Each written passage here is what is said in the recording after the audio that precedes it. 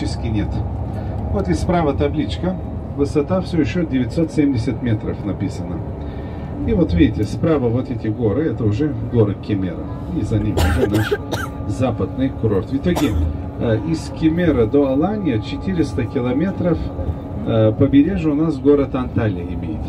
И здесь расположены около 800 гостиниц, которые на все включено работают. Даже и на ультра все включено. Да? Вот у вас тоже есть такие отели здесь в Белеке.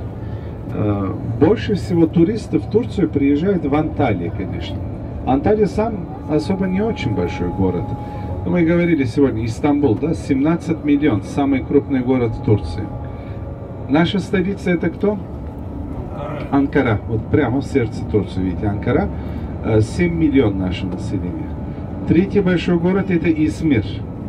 Измир около 6, уже стало 5,5-6 миллионов где-то. Э, третий крупный город. Последние годы Измир очень много переселений идет, потому что на побережье и не так жарко, как Анталия. Это тоже привлекающий район, город Измир. Если что, я тоже из Измира. Живу там зимой, летом в Анталии приезжаю на работу. Тут около 500 километров вот это расстояние получается. Между Измиром и Анталией Денисты, где мы сегодня были. Город Приморье, так называемый, да, где помукали. Э, возле Измира есть очень много курортов, опять же. В Измире, например, Чешмя, потом Кушадас, здесь Мармарис, э, Даламан, Бодрум, Фетия и так далее. И потом тут уже начинается Далян, который почти на границе, а тут уже у нас э, Дембре, Каш Дембре, это уже анталийские такие города. И вся эта побережье уже к Анталии относится.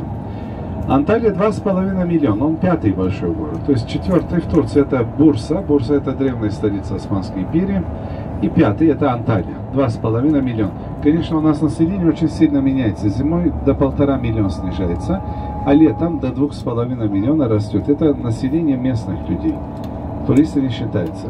Туристов приезжает в Анталию. В прошлом году 14,5 миллион туристов приезжали в Анталию отдыхали. Представляете, город 2,5 миллиона, а 14,5 отдыхали в Анталии э, туристы.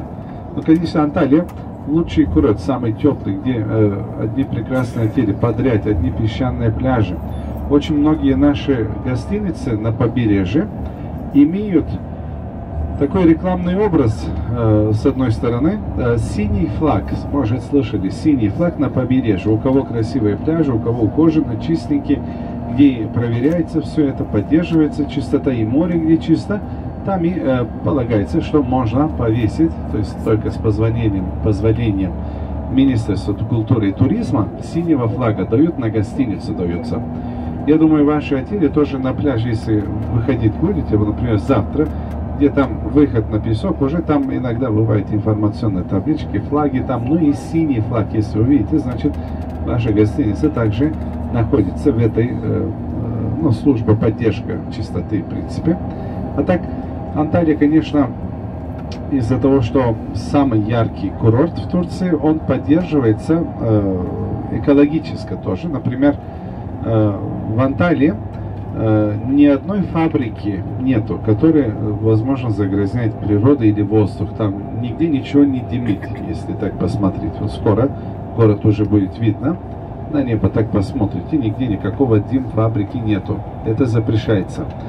А в Анталии, опять же, для поддержки туризма, особенно на морские побережья, э, на курортах, не разрешается строить отели выше деревьев ну, как лес, какой высотой, на такой же высоте можно только строить гостиницы, но выше лесов очень мало. Если даже есть, это видно, что из старых времен, это э, когда давно строили, получается.